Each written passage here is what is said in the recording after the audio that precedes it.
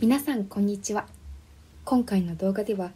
今年度立命館大学の入試がどのように変わるかについて解説したいと思います。それでは解説していきます。立命館大学では大学入学共通テストの導入による一般入試の内容変更は基本的に行われないとの方針を大学ホームページ上で公開しています。しかしながら従来のセンター試験方式にあたる大学入学共通テスト利用入試における英語の取り扱いが変更になるので注意が必要です。新共通テストでは英語の配点がセンター試験のリーディング200点リスニング50点の計250点満点からリーディングリスニングともに100点の計200点満点に変更になります。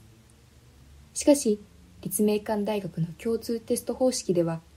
リーディングが200点満点リスニングが50点満点に換算され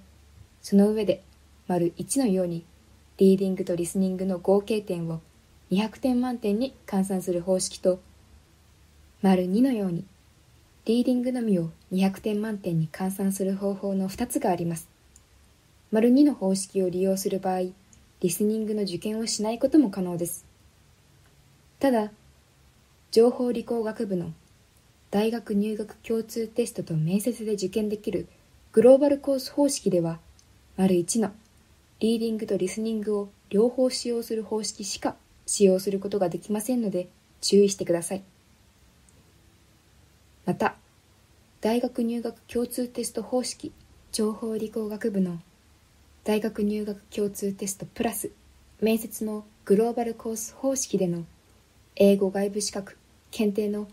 英語満点換算扱いについては変更がないようです。昨年度同様に英検準1級や TIP334 点以上などで共通テストの英語が満点に換算され合否判定に使われることになります。しかし、英検以外の検定では2019年4月1日以降に受験したものでないと出願資格が与えられませんので注意してください。加えて千葉県柏市に試験会場が新設され東京をはじめ北は札幌南は鹿児島まで全国34カ所での受験が可能になりました。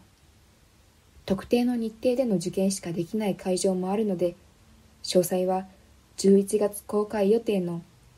立命館大学一般入試選抜要項での確認をお願いいたします。以上が立命館大学2021年度入試における主な変更点になります。お役に立ちましたでしょうか？このチャンネルでは他にも受験生の皆さんのためになる情報をどしどし発信していきます。ぜひ他の動画もご覧になってください。それではこれで解説を終了いたします。最後までご覧いただき、ありがとうございました。